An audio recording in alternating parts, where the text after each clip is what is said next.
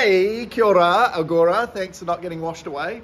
Hey, um, I'm sure uh, that you're with me. I just doing lots of prayer for people in Auckland. Eh? It's been really cool to hear heaps of churches um, and marae and places like this opening up to, to try and look after people. So do be thinking of them. Eh? They're getting pretty smashed up there again. And uh, yesterday was terrifying. I know there's a whole bunch of scary stuff today. They were saying 911 was getting overwhelmed this morning. Just so many people ringing who are scared and worried. So um, good for us to be calling out to, to Jesus on their behalf, eh? So super cool. Hey, so a couple of update things. Uh, first of all, don't forget the camps coming up. I know we talk about all the time. I'm hoping to get the prices out um, tomorrow in the newsletter. So Thursday uh, this week in the newsletter.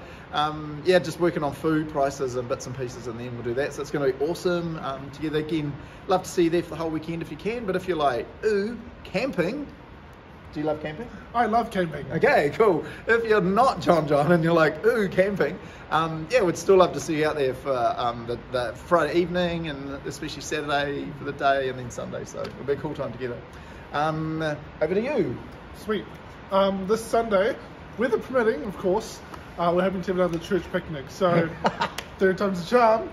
It'll be a um, Cortlands Park again, just because it's got a lot of sun cover, shade cover. Um, when the sun's shining out on Sunday, we want to be under some good shade. That's all for me for now.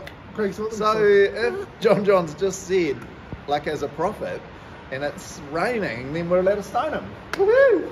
No, Yay. no, we love you, bro. Um, the other thing is, hey, don't forget it's Waitangi weekend uh, this weekend. Uh, no, most of you are like, woohoo, day off. Uh, so we're going to do some special stuff in church just to um, just to talk a little bit about Waitangi Day. So we're really excited about that. John and I are doing some planning and so on. So it'll be a really cool Sunday together. So it's all good. Back to you. Awesome, man. On February the 12th, so not this Sunday, but next Sunday, we're kicking off a lot of things at church. Uh, one of them being kids' church. So kids are downstairs this week, but next week we'll be upstairs and we'll be having our first uh, big lesson for the year. And we'll be carrying on with the curriculum that we um, started last year but yeah, really looking forward to it and really excited to see you run up there.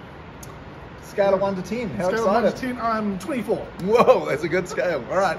Cool. Have a great day. Don't get washed away. Can't get there.